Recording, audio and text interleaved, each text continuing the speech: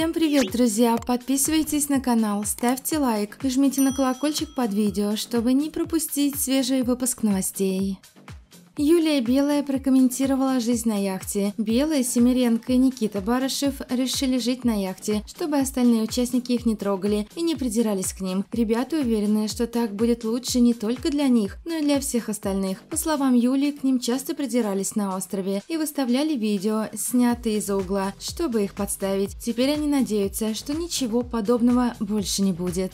На яхте поселятся сразу трое участников, которые недавно были изгоями, в которых чуть ли не плевали коллеги, а теперь они поселились в самых лучших условиях и явно вызовут новый шквал зависти, выливающийся обычно в самые нехорошие последствия, как в недавнем случае с Настей Стацевьят, поколотившей сразу троих друзей. По словам Никиты, они действительно оставили остров и не собираются туда возвращаться, так как там для них просто невыносимые условия. Особенно Никиту смущало то, что их обвиняли из-за каких-то недомолвок. Теперь он не собирается жить недомолвками, как и извиняться или мириться на время с некоторыми людьми. Барышев пообещал зарабатывать свой авторитет самостоятельно, а не потому, что он с кем-то помирится. Юля Белая тоже чувствует себя вполне счастливой. Она подтверждает, что нападки коллектива переходили все границы, их оскорбляли, на них клеветали, просто выдумывали, старались перекрутить все, что касается ее и Олеси. Кроме того, Юля рассказала о том, что Настя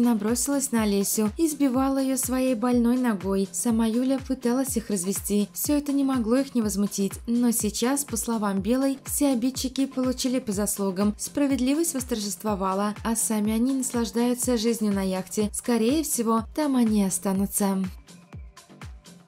Саша Черно и Иосиф Аганесян хвастаются найденной квартирой. Супруги занимаются переездом. Саша и Йоси наконец-то смогли найти квартиру, в которой проведут несколько месяцев, пока Саша не родит и когда появится малыш. Саша довольна, она уверяет, что все именно так, как она и хотела. А все, что им не хватает, они уже прикупили. Поклонники ждут, когда супруги разберут вещи, чтобы оценить дизайн жилья. Аганесяны занимаются переездом. Черно довольна своей новой квартирой. Они наконец наконец-то нашли жилье, которое смогли арендовать, где и проведут декретный отпуск. Сейчас будущие родители занимаются перевозкой вещей и обустройством быта. В квартире они обещают навести идеальный порядок, хотя пользователи язвят, что за три года порядка в комнате Черной Йоси они не наблюдали. По словам Йоси, он тоже полностью доволен квартирой, хотя переезд ему дался с большим трудом. Усиленная подготовка к родам ведется супругами во всех направлениях. Уже в следующем месяце Саша должна будет рожать рожать, а по ее собственному признанию, она совсем не готова. Сильное впечатление на нее произвели роды Ольги Рапунцель. В то же время Александра твердит, что очень ждет встречи с сыном, лицо которого она уже видела на УЗИ. Недавно беременная участница так сердилась на то, что их пару часто обсуждают, что даже угрожала уйти с проекта на совсем, но потом передумала и пообещала вернуться в положенные сроки. Свою коллегу Ольгу Рапунцель Саша поздравила одной из первых, забыв о разногласиях. Стоит отметить, что недавно участники презентовали дизайн своих комнат, и Саша с Йоси решили все сделать так, чтобы понравилось ребенку, поэтому разрисовали мультяшными сценками стены и презентацию проводили в соответствующем гриме. Зрители раскритиковали оформление, найдя его безвкусным. Руководство Дома-2 собирается подложить Марине Африкантовой огромную свинью. Спасатели любви считаются в Доме-2 высшим классом. Работают они меньше. Эфиры «Спаси свою любовь» выходят один раз в день по часу, пять дней в неделю, в то время как Дом-2 два раза в день по полтора часа и семь дней в неделю. Живут они вольготнее, а получают гораздо больше, чем строители любви. Спасательницу любви Марину Африкантову можно считать топовой участницей. Жизнь у сплошь белорозовая и воздушная. Во-первых, спасать ей практически нечего, так как брак с Романом Капаклы спокойный, сытный и надежный. Во-вторых, зрители Марину обожают. Почти 2 миллиона подписчиков – лучшее тому подтверждение. И в-третьих, руководство Дома-2 явно благоволит красавице. Во всяком случае, так до сих пор считали зрители, ссылаясь на то, что ее практически ни разу не номинировали на уход. А злые языки называют Марину священной коровой, намекая на ее особое положение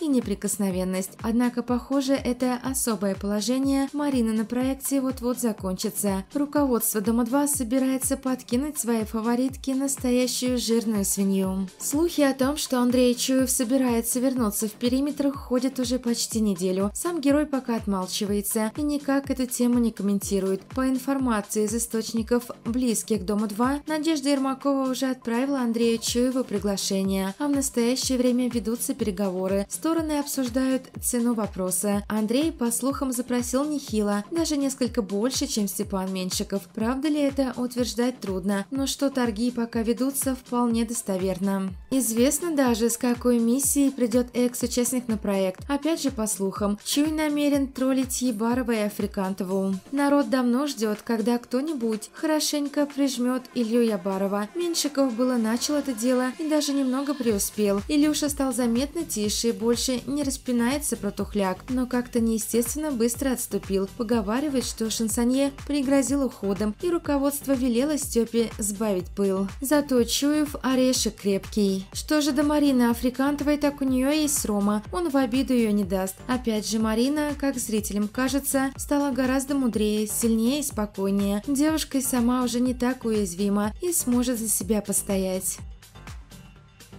Ирина Науми решила пойти по стопам Ольги Сударкиной. Недавно мы уже видели тот самый скандальный момент, когда Ксения Бордина насильно заселила в одну комнату Павла Бабича и Иру Науми, чтобы ребята наконец-то определились, кто они друг другу. Девушка настолько была возмущена вмешательством в свою частную жизнь, видимо так и не осознав, куда именно она пришла, что тут же собрала свои вещи и отправилась на выход, затеяв там же драку с охранниками. История закончилась в отделении отделении полиции, где девушка написала заявление и потребовала, чтобы сотрудники шоу ответили за действия службы безопасности, а также вернули ей вещи. Не все поклонники поддержали Иру, считая, что она сама набросилась на охрану. К тому же в этот момент была изрядно пьяна. Действующие участники озвучили в прямых эфирах, что Наоми откровенно хайпует, для чего, собственно, ей и нужен был проект. Однако, если обращение в правоохранительные органы есть, продюсерам Дома-2 придется дать объяснение. Наоми Наоми написала, я наконец-то прилетела в Челябинск после очень тяжелой недели в Москве. Срок проверки по моему заявлению в полицию истекает 15 июля, после чего должно быть принято соответствующее процессуальное решение. Также особо не рассчитывая на благоприятный исход проверки, мной была направлена претензия в адрес ООО «Солярис Промо Продакшн», правообладатель и организатор съемок телепроекта. Тем временем эфир вышел. Как думаете, сколько и какие моменты вырезаны?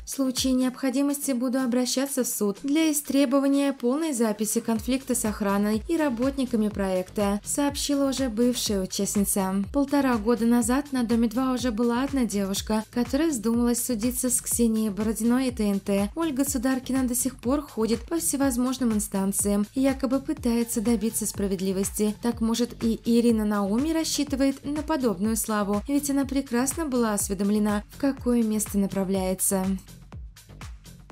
Даниил Сахнов уходит с проекта к Тане Строковой. Даня сейчас находится на выходных, и в один из этих прекрасных дней Юлия Ефременкова и Мандезир Светомур устроили ему неожиданную встречу с Татьяной Строковой. Бывшие достаточно тепло пообщались и вспомнили свои отношения на проекте. После застолья Юля утверждала, что на следующий день ребята уже вовсю милуются. Сама же Строкова ничего на своей странице в социальных сетях не рассказывала и почти перестала снимать сторис. Доказать Доказательств никаких не было, кроме слов Ефременковой. Зато позавчера Игорь Григорьев снял, как Даниил с Таней держатся за ручки и находятся на веселе под виноградными напитками. И уже вчера Строкова сняла сторис в Инстаграм, как Сахнов собирает вещи и говорит о том, что уходит с проекта. Строкова говорит «построй свою любовь», а Даня отвечает «уже построил». Даже не знаю, радостное ли это событие, но поклонники в таком случае разделятся на два лагеря. Ведь если на проекте проекте у ребят были такие проблемы, то и за периметром Таня морально задавит своего парня. Тем более, что у него не такая раскрученная страница в Инстаграм, как у Строковой, и на рекламе он зарабатывать будет мало. А кем Даниил сможет работать в Москве, даже представить сложно. Так что скоро выйдет эфир, где Даниил будет прощаться с проектом, только кажется, что в скором времени вернется обратно.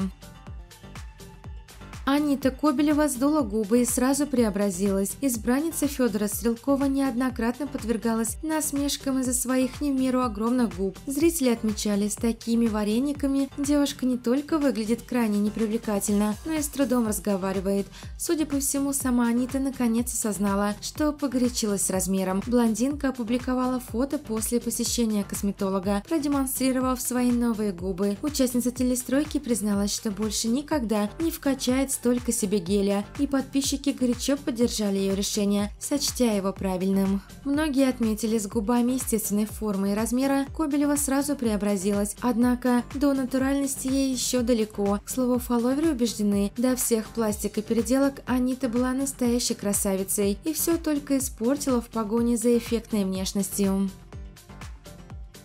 Спасибо за просмотр. Рекомендую посмотреть и другие интересные ролики. Кликайте прямо сейчас, а также переходите на мой канал. До скорых встреч!